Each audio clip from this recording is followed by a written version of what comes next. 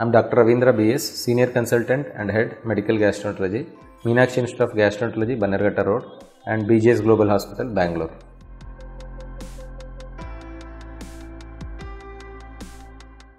Whenever people do fasting, usually they will have acidity problem or gastric problem, and some of them they may also have migraine. When if these two issues are there, usually they will have vomiting sensation. When they vomit, usually we forcefully vomit, and that scenario, our esophagus, what we call it as food pipe, as well as stomach, will get injured. Suppose if you have an injury on your skin, we will have blood in our skin. Similarly, if there is an injury on the food pipe and as well as injury in the stomach, what we call it as ulcer or esophagitis, then we will usually get blood in our vomitus.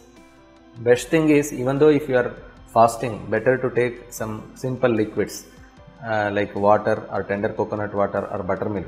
Then usually these problems will not settle down. One, if this is happening repeatedly, then we should be we should investigate such people whether they have a esophagus ulcer or stomach ulcer, for which we do an endoscopy, see any problem in the esophagus or stomach. If there is an issue like that, then we usually give some medicines. And if there are bigger issues like big hiatus hernia, esophagitis, what we call as ulcers, such patients better they should take fluids during fasting.